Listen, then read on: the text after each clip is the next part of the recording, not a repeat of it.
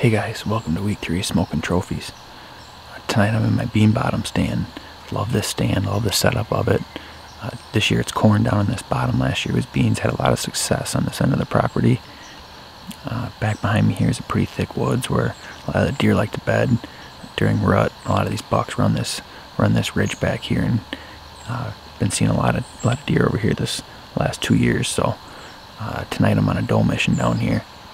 Uh, getting been bit pretty hard by the mosquitoes down here. Haven't seen much moving. Temps are still real warm. So why don't you guys take a look here at Turtle's Hunt from Saturday night while I uh, do a little glassing here.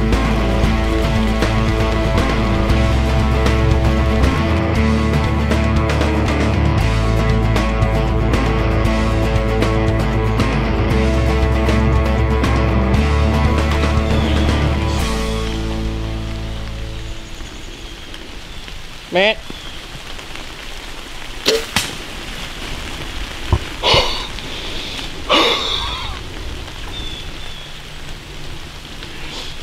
Oh my god. Dude, that happened so fast. We got in the stand. Tyler didn't even have the arm up yet. Oh my god, I just looked over my right. Saw him coming in. There's four of them. Three does, one fawn. Put my 20 yard pin on her and hammered her. I don't think she's going too far. Alright guys, so um, we got it here in the stand and uh, I was pulling my bow up and I just happened to look over to my right and I saw a doe. And before you knew it there's three of there was four of them and I told Tyler that they were coming in and I set my bow down so I still had to nock an arrow and get my quiver off and I didn't have my release on yet. So he didn't have the camera arm up. All he had was the base. So he's sitting up here trying to fiddle around and try to freehand best he could and I saw it, it was real good footage. But um, no yeah they came in put my 20 yard pin on her. I, I think I buried it pretty good. Um, maybe hit the back shoulder so not a pass through but um, we'll probably sit here for a half hour to an hour and then try to pick up a blood trail well uh, we picked up blood for about 30 here. This is exactly where the one that I shot last week went in. Uh, she dropped the arrow right here. Um, got some good blood on it. The rage expanded. I think it did its job. Uh, we're gonna back out here for a while. Yes.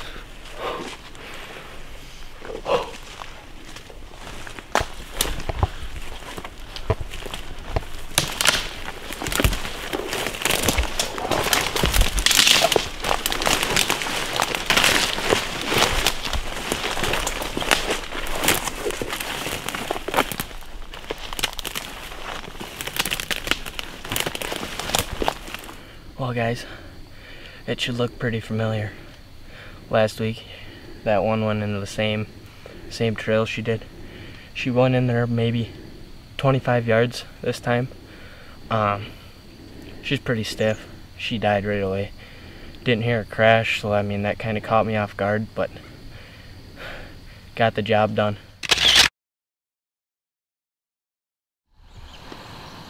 Congrats the Turtle on a nice shot on a big mature doe.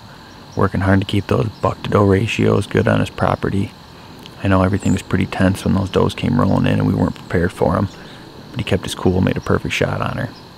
I know Brooks Chandler's been out quite a bit here uh, these last couple weekends when he's not been at school. He's been seeing a lot of deer, but just hasn't had the right opportunity uh, to make a shot at one. He's had some bad luck, some deer coming up downwind of him where he wasn't expecting them and even a couple dogs coming in and chasing away some of his does that he was about to take. Uh, I know we're going to keep at it here. These temps have been real warm, but this weekend we got a big cold front coming in. These deer are going to be up and moving. Uh, so I urge everyone to get out this weekend and sit in the stand and good luck to everyone